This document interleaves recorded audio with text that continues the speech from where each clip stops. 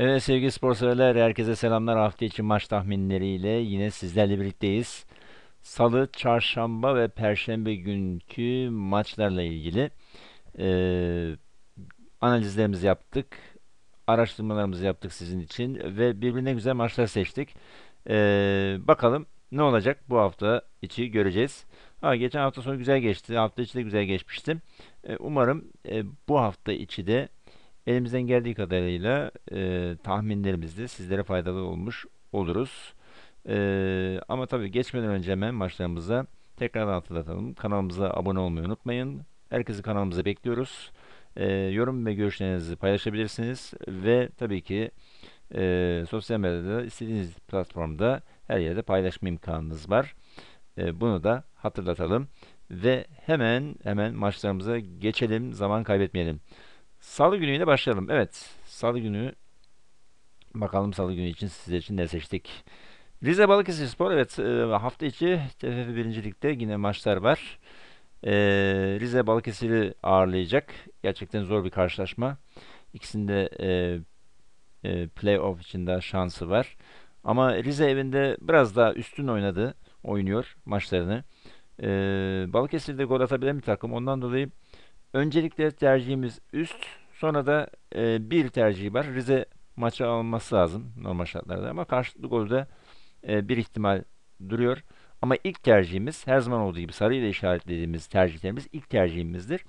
E, üst tercihimiz. E, bunun dışındaki diğer tercihlerimizi değerlendirebilirsiniz ama ağırlıklı olarak ilk tercihimiz üst. Ve diyelim gelelim Antep, Gaziantep Altınordu maçına.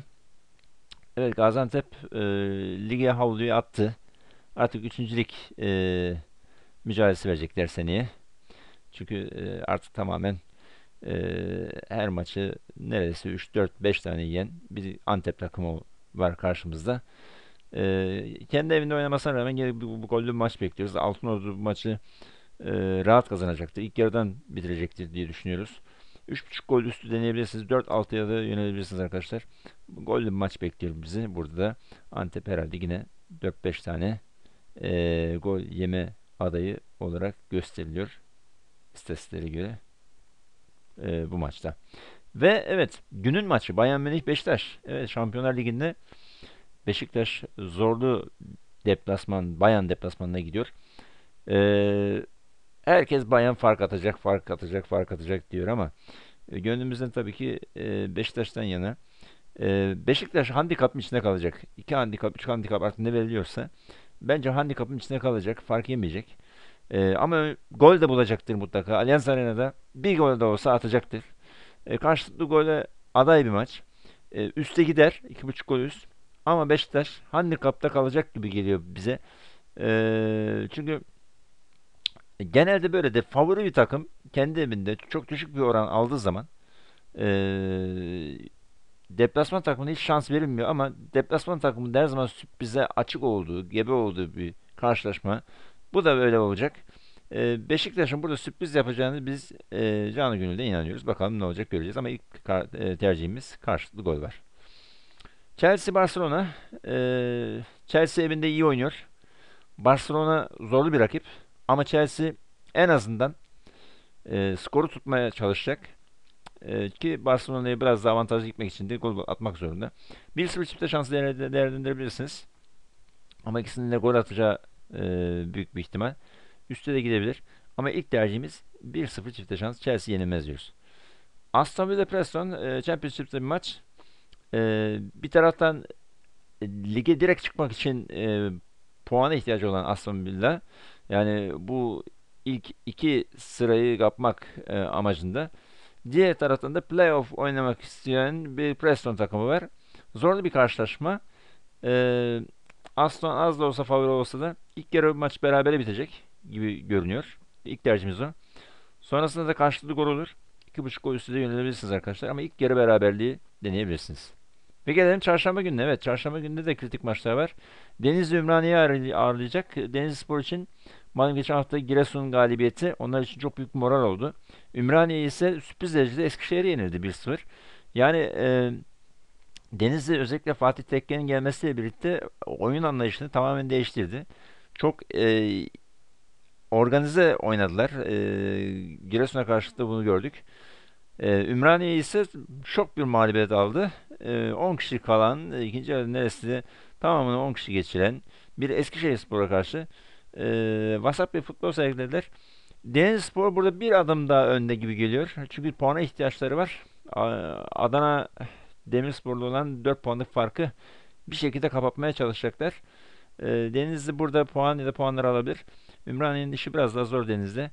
E, 1-0 çifte şans karşılıklı gol var ve 3.5 gol üstte sürprizler için deneyebilirsiniz. Gollü mücadeleci bir maç bekliyoruz ama Denizlispor bir adım daha önde olacak bu maçta. CSKA Moskova Kızıl Yıldız. Evet ilk maçın 0-0 bittiği öncelikle bir hatırlatalım. CSKA Moskova e, kendi evinde biraz daha avantajlı durumda. E, yenecektir Kızıl Yıldız'a karşı. Bir tercihimiz, ilk tercihimiz karşılıklı gol olmaz. 2-3 gol arası bir maç bekliyoruz. Ama CSKA burada maçın favorisi e, alır diye düşünüyoruz suratlar. Ve Leganes Real Madrid evet, e, İspanya e, La Liga'da Real Madrid Leganes'i ağırlayacak. E, yani Leganes Real Madrid'i ağırlayacak daha. Real Madrid deplasmana gidiyor. E, ilk tercihimiz 3.5 gol üst. Gollü bir maç bekliyoruz. E, Real Madrid zorlanmadan alır diye düşünüyoruz. Karşılıklı gol 4-6 gole yönelebilirsiniz. Gollü bir maç bizi bekliyor burada. E, bakalım ne olacak göreceğiz. Ve gelelim Perşembe'ye. UEFA Avrupa Ligi maçlarından siz için 4 tane seçtik. Biri Atletico Madrid Kopenhag. Malum Atletico Madrid maçı rahat kazanmıştı Kopenhag'a karşı. Avantajlı durumda. Rahat oynayacaklar. Kopenhag ise prestij peşinde. Bir gol atabilir. Ve karşılıklı gol yönelebilirsiniz. 2.5 gol üstü, 3.5 gol üstü de yönelebilirsiniz arkadaşlar. Ee, bir nevi e, hazırlık mücadelesi gibi bir şey olacak. Çünkü Atletico Madrid ilk maçı rahat kazanmıştı. Lazio Bükreş zorlu bir karşılaşma. Steaua Bükreş malum ilk maçı 1-0 yenmişti Lazio'ya karşı evinde. E, 1-0'lık skor avantajı pek o kadar fazla bir avantaj sayılmaz. Lazio e, gol atmak için yönelecek, ağırlığını koyacak.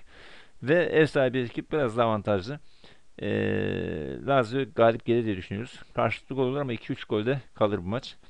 E, Lazio galibiyetini deneyebilirsiniz. Ve Arsenal Ostersons evet e, bu kupanın en büyük sürprizlerinden bu Ostersons takımı e, Arsenal'a karşı boyun eğmişti ilk maçta. İkinci maçta da böyle olacaktır. Arsenal kalitesiyle e, kadro kalitesini Ostersons'u rahat yeneceklerdir. Handikap 1 deneyebilirsiniz. Üste yine yönelilir. 3.5 gol de deneyebilirsiniz. ilk maçtaki gibi bu tarafa doğru gider. Ve Milan Logerets Milan da öyle rahat galibiyet almıştı.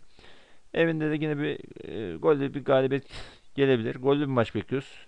Taraf bahsine girmeyin. Üst karşılıklı gol olabilir. Lojanos prestijli olarak bir gol atabilir. 3.5 gol üstü yönelebilirsiniz arkadaşlar. E, bu şekilde de e, bu maçı da böyle değerlendirebilirsiniz. Evet. Hafta içi tahminlerimizde sizlerle birlikteydik. E, bakalım ne olacak göreceğiz. E, umarım herkes e, bol kazançlı güzel bir hafta geçirir.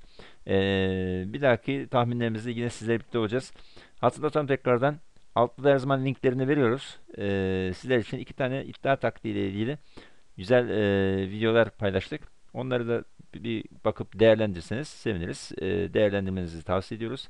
Gerçekten başarılı taktikler.